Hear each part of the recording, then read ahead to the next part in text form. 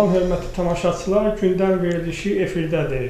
Bu dəfəki verilişimizdə müzakirə olunacaq əsas mövzu e, əmək qanunvericiliyi, əl qüsurlu insanların e, əmək fəaliyyəti və digər e, məsələlər ətrafında olacaq.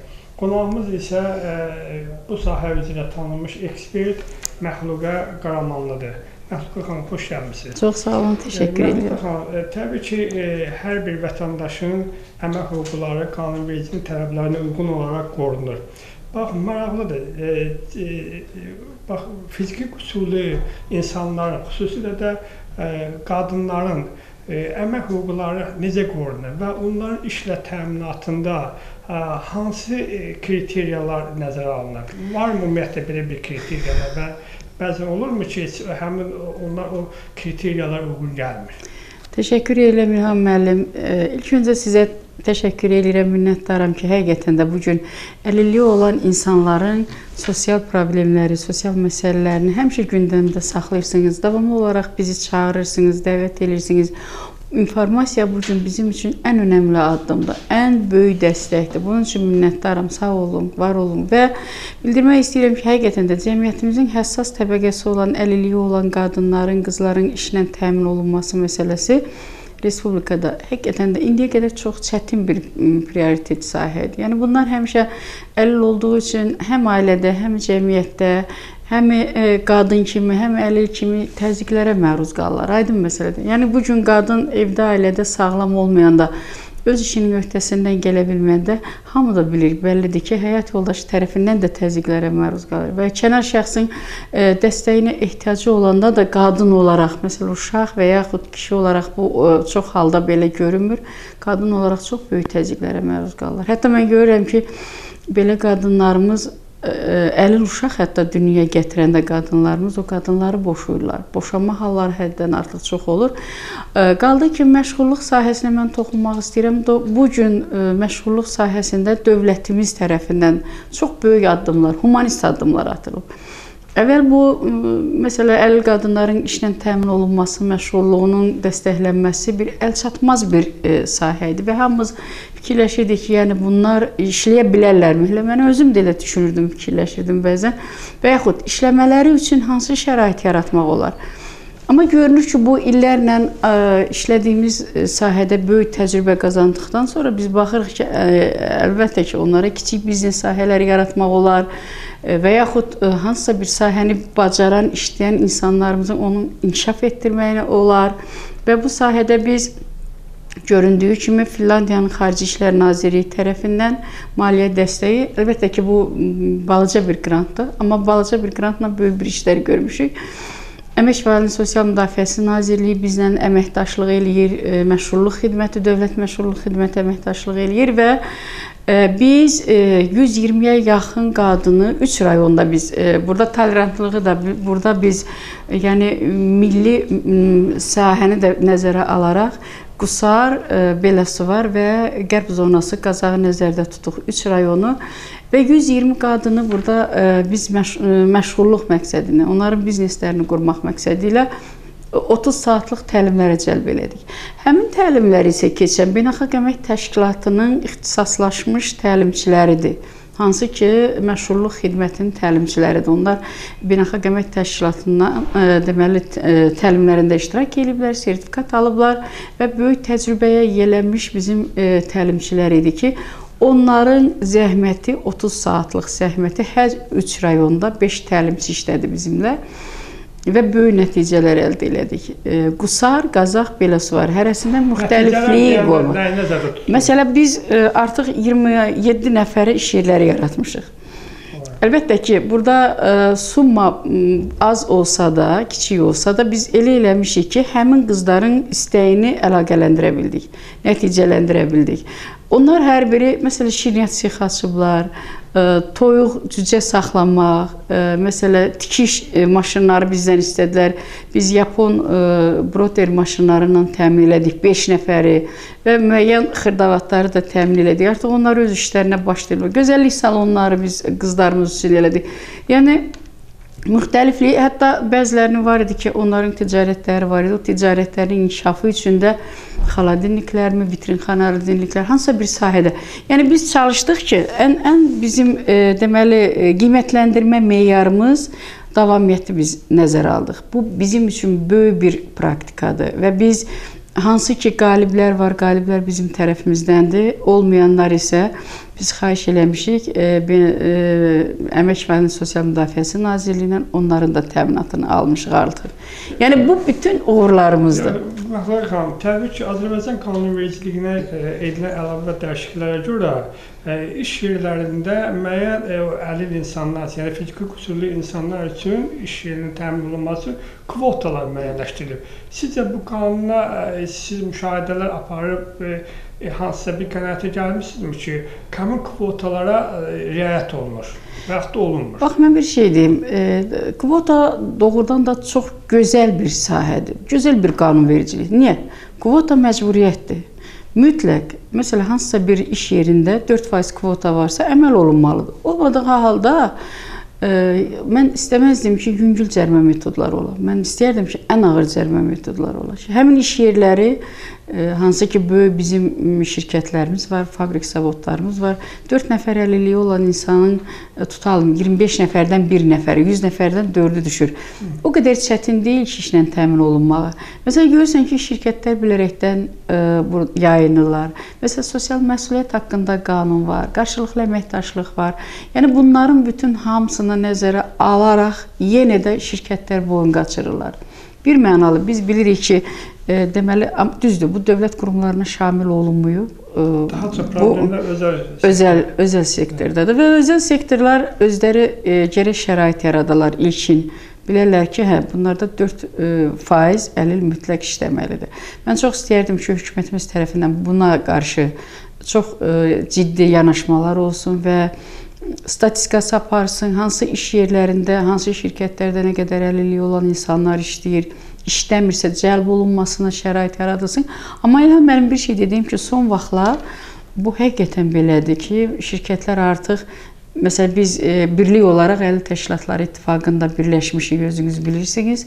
Bu bizim üçün böyük nəticədir ki, e, əlil təşkilatları bir yerdə e, əlilliyi olan insanların sosial məsələlərinə ciddi yanaşırlar, ictimai şuralarda təmsil olunurlar. Bu bizim üçün bir baş ucalığıdır və dövlətimizin böyük dəstəyini biz alırıq hər tərəfli davamlı olaraq. Dövlət e, qurumlarında yüksək səviyyədə təmsil olunuruq və şirkətlər də artıq Əlil Təşkilatları İttifaqına müraciət edirlər ki, bizə əlilliyi olan insanlar lazımdır. Məsələ Coca-Cola Baksel, Ada Universiteti. Məsələn biz orada 5 nəfər Ada Universitetinə Hafiz müəllim sağ olsun, 2 nəfər qızımız dəlil əlil arabalarında olan qızlarımız işlə təmin eləyiblər. Yəni bu bir növ e, məsələ Ada Akademiyası bir nümunədir bütün e, e, dövlət e, universitetlərə, institutlara, kolleclərə ki, həqiqətən də əlilliyi olan insanlar yazı işidir də bu yazı işi. Mən istəyərdim ki, məsələ mənzil təsərrüfat idarələrinin hər birində əlilliyi olan insanlar işləsin. Bir nəfər, iki nəfər çox demirik ki. Təbii ki, Məxluq xanım, əhalinin həssas təbəqəsi hesab olunan bu fiziki qüsurlu insanların Bakı şəhərində elə böyük iri şəhərlərdə də müəyyən qədər məşğulluğun artırılması üçün onlara işlə təmin edilməsi məqsədi ilə müəyyən addımlar atılır, işlər görülür. Amma gəlin razılaşmaq olarmı və yaxud da siz hər hansı bir araşdırma və yaxud da müşahidələr aparmısınızmı ki, bu xüsusilə də özgər e, qəsəbələrdə, özgər e, kənd yerlərində onların məşğulluğunun təmin edilməsi üçün e, ümumi bir şərait varmı? Bax indi İlham müəllim, mən son vəziyyəti mən deyim sizə. Çox ürək açan bir vəziyyətlə biz rastlaşmışıq. Bu gün Əmək və Əhalinin Sosial Müdafiəsi Naziri, gənc kadrımız Sahil Babayev bilavasitə Bu insanların e, məşğulluq məsələsi, işlə təminatı məsələsi, kiçik biznesin yaradılmasından bağlı məsələ əlilliyi olan insanlar kənarda qalırdı. 4500 nəfərdən çox əlilliyi olan insanlara e, cənab nazirimiz e, kiçik bizneslərin yaranması üçün artıq vəsaitin ayrılmasına və onların məşğulluq xidmətində işsiz kimi siyahıya durmalarına və təlimlərə cəlb olunmalarına və onların işlə təmin olunmalarına şərait yaradıb. Rayonlarda, qəsəbələrdə hər bir rayonun məşğulluq xidmətləri var və həmin e, əgər kimsə maraqlanıb kiçik biznesini qurmaq istəsə, mən efir vasitəsilə də deyirəm, bütün rayonların məşğulluq xidmətində onlar qeydiyyatda dura bilərlər və həmin məşğulluq xidmətlərində təlimlərə cəlb olunandan sonra öz biznes, öz istəklərinə görə biznesdən təmin olunması üçün 5000 manat civarında vəsait ayrılır. Və o vəsait natura formasında ayrılır. Natura formasında nədən ayrılır? Məsələn, biz istəyirik ki, tutalım biz ilə də arıçılıqla bağlı şimal bölgəsində böyük bir iş yapardıq. TİKA bizə dəstək verdi. Hər e, nəfərə 70 nəfər 10 10 arı ailəsi verdik və o arı ailəsinin monitorinqini eləyirik davamlı olaraq. Və indi dövlət də Natura formasında verir ki, pul versə xərcləyəcək, aydın məsələdir. Və natura formasında verir ki, o nəzarətə götürülsün və baxsın, görsün ki, nə qədər öz bizneslərini e, inkişaf elətdirə bilirlər. Bu bizim üçün böyük bir uğurdur. Azərbaycan üçün böyük bir uğurdur ki, 5000-dən çox, 4500, 5000 arası əlilliyi olan insanlar 5 4000 5000 civarında natura formasında istəklərinə uyğun məsələn bir bərbər yeri yarada bilər.